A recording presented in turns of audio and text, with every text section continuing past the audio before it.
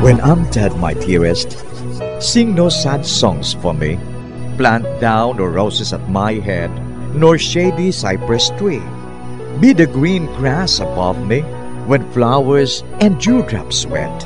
And if you will remember, and if you will forget. Recuerdos, mga handumanan, ngaging kalimtan apang nagapanagilot sa kaisipan.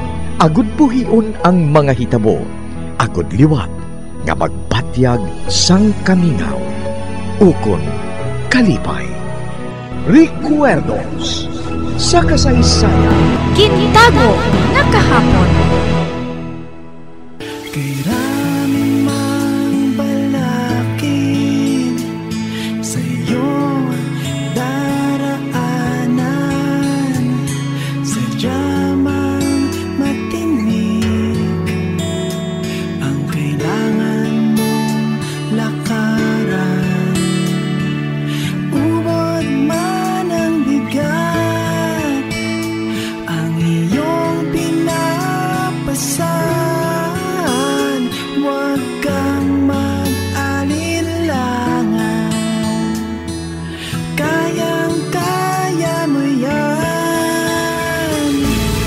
Kagkaron sa kasugpon sang aton sugilanon diri sa Recuerdos sa kasaysayan. Gintago nga kahapon.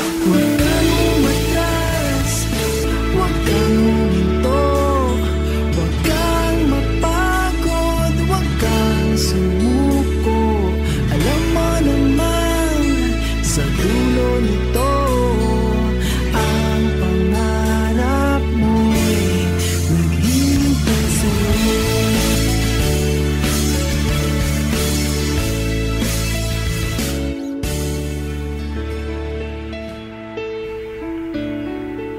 Arsenio, ako si Jeremy.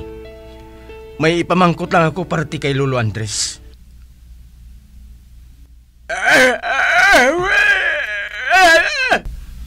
Hindi siya maghambal.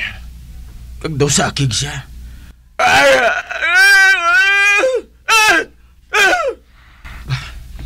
Nagasinya siya nga magaling kami. Pasensya ka na sa iya. Naakig siya. Bangon sa natabo sa iya. Wala na siya sa dila. Hindi na siya maluyag maghilabot pa. Parte sa mga butang may labot kay Andret. Um, mahimo bala niyang masulat ang iyan na ibalan. Agod nga masanagan kami sa nagakatabo kay Lolo Andres. Hindi siya magpasugot bahin sa butang nga ina. Sa handom niya nga magbulig sa abyan niya. Amo pa sinag natabo sa iya. Mahimo bala nga masugiran mo kami sang iban nga parte kay no Andres? Kag kay Moses sa lagubang? Kon buhaton ko ina. Daw pariho lang aging traiduran kung akon bana. Um, Hindi ko mabuhat ina. Pareho kay Arsenio. Hindi ko naliwat pag ipaon ang akon kabuhi. Bangod lang kay Andres. um, Masakit para sa amon ang natabo nga ini Jeremy. Masakit nga sa handom namon nga makabulig. Amo pa sining natabo sa amon. Patyon kami sa mga tawo nga mga malain. Patyon nila kami. Kani, adlaw kagabi, nagabatyag kami sa kakugmat kung ano pang mahimo nga matabo sa amon. Gani maluoy ka. Palayuin na lang kami. Hindi na kami pagtublaga pa. Luyag namon nga maglinong. Hasta sa katapusan sang tion sang amon nga kabuhi. Gani maluoy ka. Hatagi kami sang kalinong. Pasaylohan lang kami ng sedes. Hindi na kami magtublag sa inyo, liwat. Um, nawarsin niyo. Malakat na kami. Wala siya nagbalikid sa amon. Babay, Lolo Arsenio. Um, dali na, Carly. Oo. kanukon. Naulihi kita sa pag-abot. Puntani, nakapakikita pa kita kay nung Arsenio. Sa wala pa siya mautdan sang dila. Apang sinong nagutod sang iya dila? Sino? Amo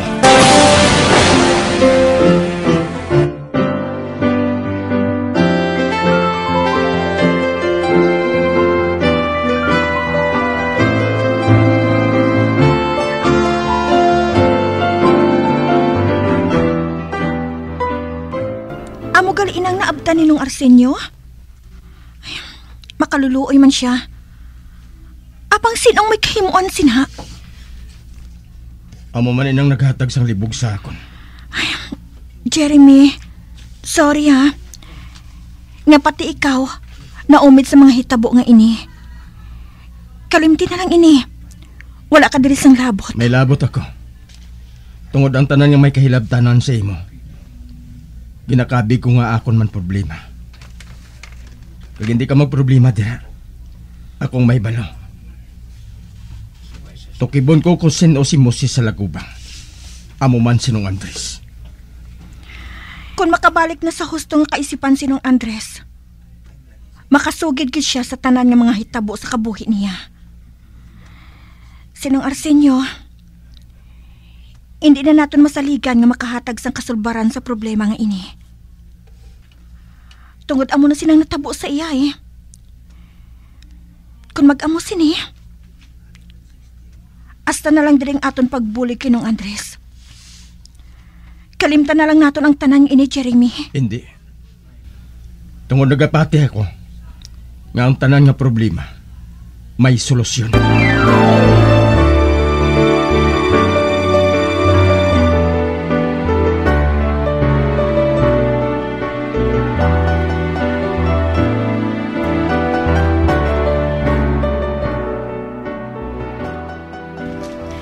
Natabo, Sixto? Nakabalos na bala si imo si Tamak Dongkan? Nga nagapangayo ka sa iya sang yate? Oo, Shirley. Nagsiling siya nga mahulat lang kita. Kaysa hindi madugay, maabot na ang yati nga ginbakal niya para sa aton. Wow! May helicopter na kita. May yati pagid. Hamak may na Sixto, ha? Hayabaw ah! Doon sa mabuang nagid ako sa kalipay. Nga ba lang kaswerte kid sa ato niya man? Nga ah, Sixto? Kung maglibot kita sa bilog nga kalibutan, yati ang aton sakyan. Mhm. Oo. Sa dagat kita ya maagi. Kagang makakita sa aton, mabuang gid sa kahisa. Kag base bala kon mangayo naman sang litrato si Tom nga ara si Moses sa tupad sang yate. Hmm? Hmm. Ati, kung mangayo gid man siya, ah, himuang ko naman sa paagi nga makapapicture si Moses kag ah, pasuksukan ko sa sang panapton nga iya sang Navy.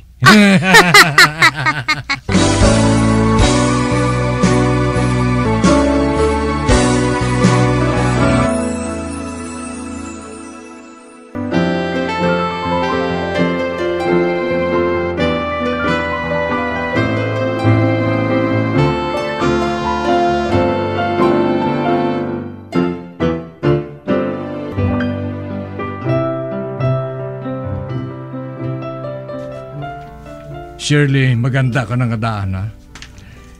Kay kuhaan naman naton sang laragway si Moses. Nga nagasakay siya sa yati. Kag iabayo daw iya sang Navy. Kag simpre, takda naton siya sang salbabida. Oh. Mayo ina. Patod nga malipay naman si Tamak Dungkan. Kung makita niyang iya abyan nga tindog sa yati nga ginbakal niya. Amugid.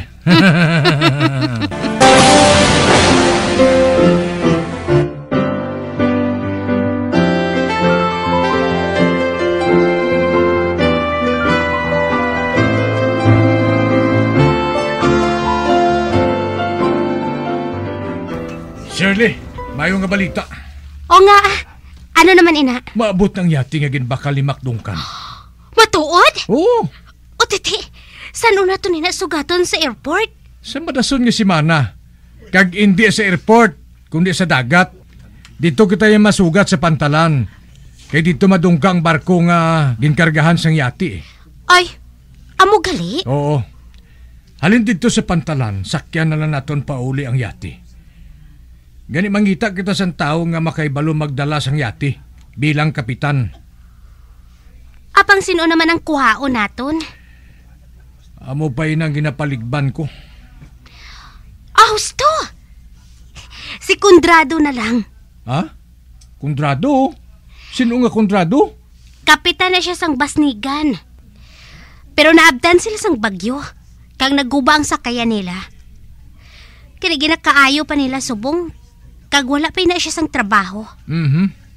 Kag pwede naton ina siya makuha bilang kapitan. Ate, sige. Hambala si Kondrado ha, nga siya ang madalas ang yati.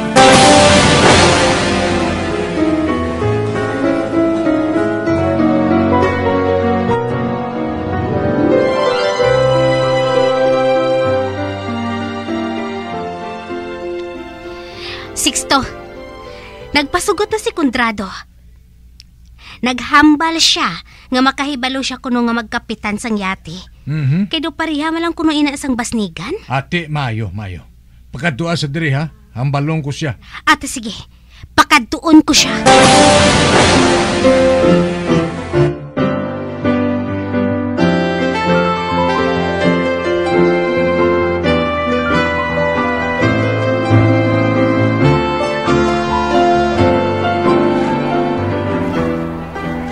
Suno kay Carly. Sinang sidis. Nagakadto diri sa merkado. Pagod nga magpanindahan. Kabay pa nga magkadto siya diri. Inaanglan nga mahambal ko siya. Nga hindi makahibalo sinong Arsenio. Amo na lang inang pagi. Amo na hinibalaan ko nga pagi. Agod makahangop ako. Kung nga nga hindi makahalin sinong Andres sa balay ni Madam Shirley. Hindi ako magpati nga ang utang niyang kabangdanan. Kung ano man ang rason, ay hantama ka darong. Bah, para siya. Sinang sidi sina. Nakita ko siya nga nagbakal siyang isda sa lalaki nga to. Palapitan ko siya. Um, nang sidis? Bay, ikaw gali, Jeremy? Oo, nang sidis. Mahimo ko blang nga mahambal ka? Ah, kan, nagadali ako. Nagahulat sa akon si Arsenio. Madali lang ang buhaton ko nga pagpakighambal sa imo. Importante nga makaibalo ka. Nga ara sa katalagman ang kabuhi mo. A- ara sa katalagman ang kabuhi ko. Bay, a- anong buot mo silingon? Ah, dito kita sa higado. Agod wala sa may makabati sang aton ginahambalan.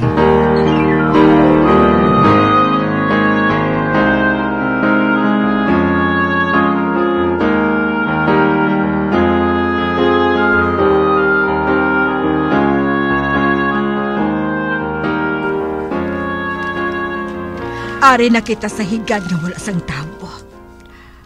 Karon, nga nga nakasiling ka nga ara sa katalagman ang kabuhi ko. Hindi na makahambal si Arsenio. Wala na siya sang dila. Apang ikaw buhi pa.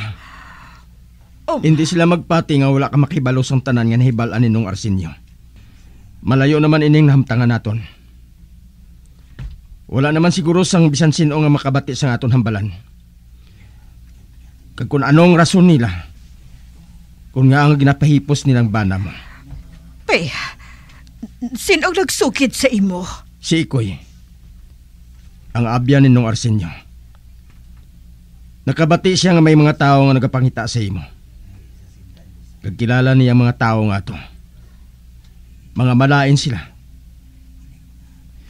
Kagsubong, hindi na ang bana mo ang ginapangita, kundi ikaw na. Dulaon ka man nila sa ilabanas. Agod makasiguro sila. Nga wala sang may makapanugid sang likom ninyo nga ginatago. Oh, Diyos ko. Sobra na ini. Sobra na, ini. Bisan diin kamo manako. Lagso nila kamo. Nagsawala ka pa nila mautdan sang dila. Isugid sa ako ng mga butang nga ginatago ninong Arsenio. Makabulig ako sa inyo. Kung hindi mo pag-isugid sa ako ng tanan, depende lang inasay mo. Sobra na ining pagpaantos nila sa amo na. Sobra na. Nga nga ginahingabot nila kami. Mga sapat sila. Sugiri ako ng sidis. Nagapangabay ako. Luyag ko nga makahibalo sang matuod. Nga ginahandom ka mo nga ubuson sa mga tao nga nagapangita sa inyo. Kag sinong nagasugo sa ila. Luwas ang kabuhi mo. Sa wala ka pa makita sa mga tao nga. Oo. Isugid ko sa imong tanan, Jeremy. Isugid ko. Una sa tanan, luyag ko nga makahibalo ka. Nga ang matuod nga ngalan ni Andres, amo si Moses sa lagubang. Um, Moses sa lagubang? Oo. Si Moses sa lagubang. Amo ang ngalan niya. Sila ni Arsenio. Mag-abya na. Antes mag-abot ang inaway pang kalibutanon. Kag wala magtugay, nag-igrab ang inaway. Nagpanago sadto si Arsenio kag si Moses sa may higad sang baybay. Kag nakita nilang isa ka negro, wala sang animo. Gindala nila ini sa balay ni Moses. Kaginpulong, tubtob nga nag-ayo. Apang ang negro, hindi ba kahibalo maghambal sang ilonggo? Ginabudlayan si Moses sa paghangop sa iya ginahambal. Kag maayo man, kay ara si Arsenio, nga makahibalo maghambal sang bato-bato nga in. Kag nakasugid siya ga ang iyang ngalan, amo si Tamak Dungkan. Gintago siya ni Moses. Bangod ang mga hapon, masako man sa pagpangita sa iya. Sang ulihi, nagplano si Moses nga magbakwit sa isa ka isla. Isla nga talagsalang ginakadtuan sang hapon.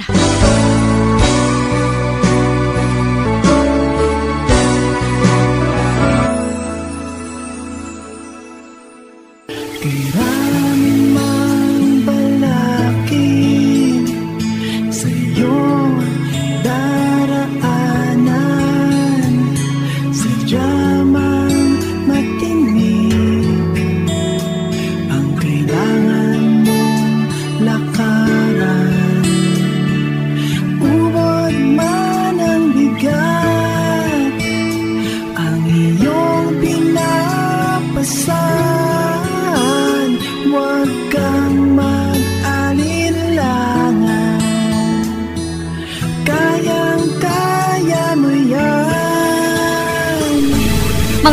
sundan ninyo sa pagpamati ang kasugpon sang atong sugilanon diri sa Recuerdos sa kasaysayan. Gintago nga kahapon. Ginsulat kag sa direksyon ni Elizabeth Batidwan Navarro. Mga abyan, sundaman sa pagpamati ang matahom nga drama. Higugma ako o kon bayai ako. Mabatian diri lamang sa Bombo Radio. Bombo Radio Philippines. Patuloy na number one sa drama. Mas Paradyo! Bombo!